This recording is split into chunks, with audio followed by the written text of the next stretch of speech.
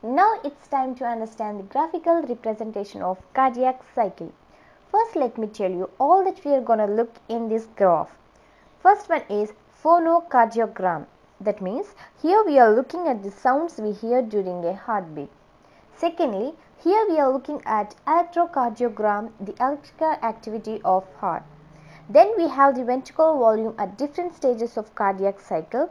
For this, on x-axis we have timings of different stages of cardiac cycle and on y-axis we have volume in milliliters.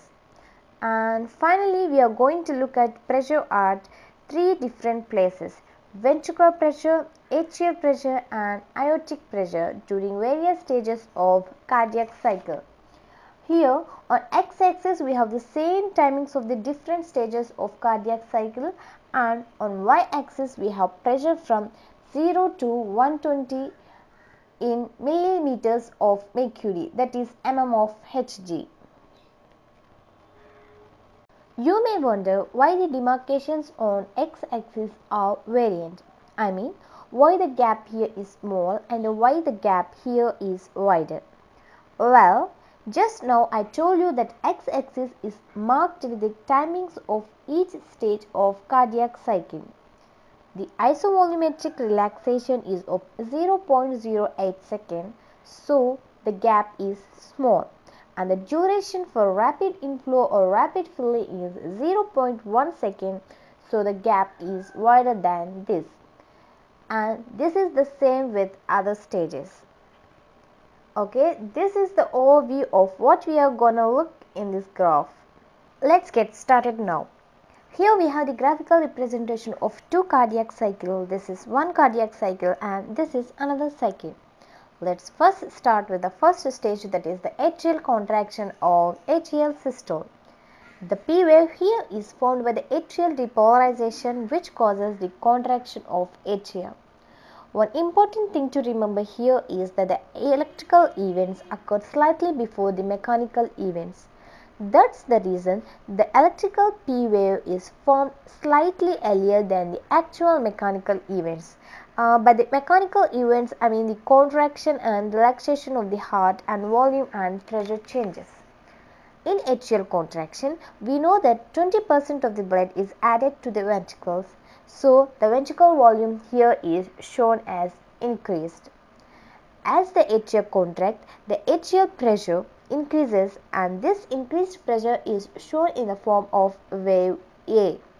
As the atrioventricular valve is open, here the pressure in atria is transferred to ventricles and we get the same pressure wave as a blue colored wave and it is the ventricular pressure. As aorta is supplying the blood to other parts of the body, the pressure in it slowly decreases and it is shown here.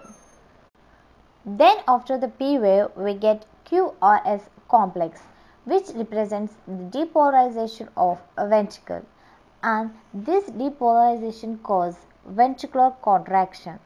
This small period here we have actually the same period here which is called as isovolumetric contraction.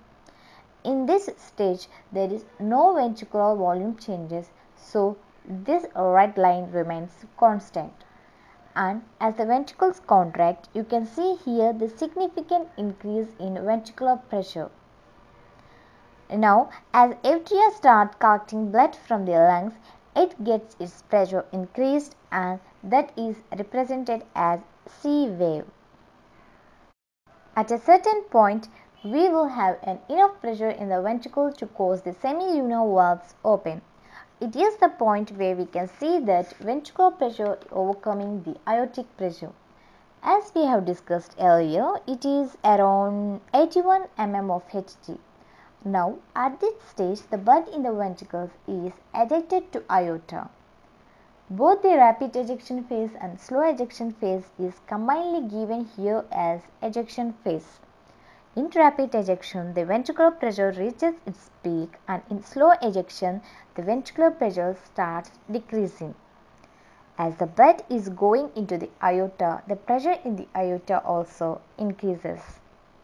As the blood is ejected from the ventricle, the ventricular volume decreases significantly. The atria here is still receiving the blood and it gives a slightly increased V wave. Now coming to the T wave that is the repolarization of ventricle which causes the relaxation of ventricles. As it is relaxation the ventricular pressure decreases and as the two valves are closed there is no change in the ventricular volume. Due to decrease in the ventricular pressure the atrioventricular valves open and the ventricular filling takes place. So the ventricular volume here increases both in rapid inflow and diastasis that is slow ventricular filling phase until the SA node triggers again. So, the SA node now triggers and the P wave is formed and the cycle continues. Coming to the part we have not yet touched that is phonocardiogram. We already know that a healthy valve do not make any sound when it opens. It makes sound only when it closes. So here we have two stages where the valves close. One is the closure of atrioventricular valve that is bicuspid and tricuspid valve. It is during the isovolumetric contraction. Here we hear the sound lub.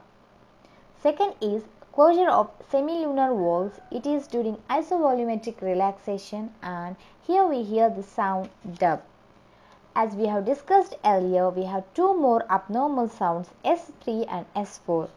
S3 is heard during rapid inflowing and S4 is heard during atrial systole. So here is this place where S4 is heard which is rare and abnormal. So by this I complete the total cardiac cycle.